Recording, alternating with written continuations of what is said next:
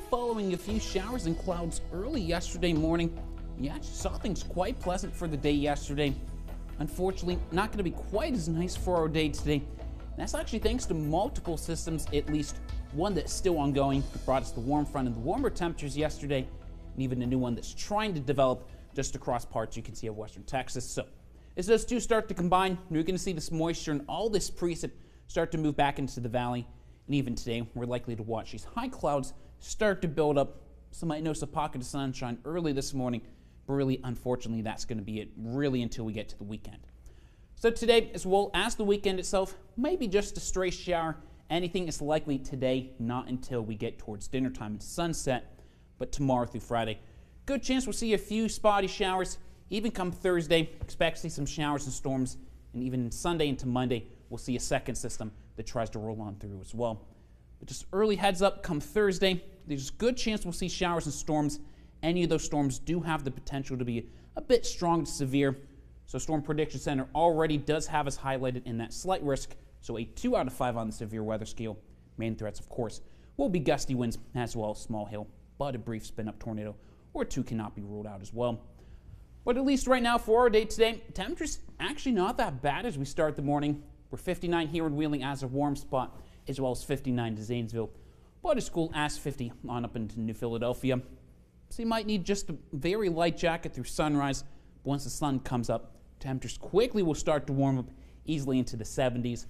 So about 74 here in Wheeling, as well as Moundsville. is warm as 75 into Chester, but as cool as 70 to Barnesville, as well as Woodsfield. So like yesterday, going to feel nice, but quickly through the morning, we're going to watch these clouds start to build up. So really come lunchtime, I'm expecting mostly cloudy skies. And even though, look what happens into the afternoon. We try to see a little bit of clearing, and even by 4 p.m., we notice a few showers that might try to pop. Even come dinner time this evening, can't rule out a few storms that might try to roll on through as well. But anything we see today, just going to be maybe a heavier shower, and anything in the way of storms, just going to be general. Tomorrow, though, temperatures cool down just a bit. We're, though, still but, well, well above average. About 66 here in Wheeling, with their warm spots of 68 into Chester, Moundsville, St. Mary's, and Caldwell, but as cool as 63 on over into Millersburg. And unfortunately, rain chances still going to be around, but the good news is it's not going to be scattered and widespread. Even first thing in the morning, it's just cloudy. You see a few spotty to stray showers move on through, so not everyone even sees anything come the morning hours.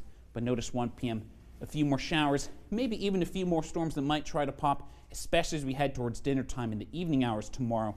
So tomorrow, not going to be a washout, still going to be more so cloudy throughout the day, but the day itself not going to be too bad.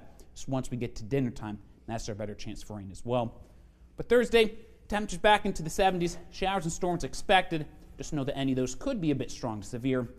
Then windy, spotty showers with dropping temperatures for your feel good Friday. Any of those rain showers wrap up before sunrise on Saturday, leaving us with mainly clear skies and the 60s. 73, mostly sunny on Sunday, but a few showers will try to return after dinner time and sunset, leaving us at 72, with a few spotty rain showers for our day on Monday.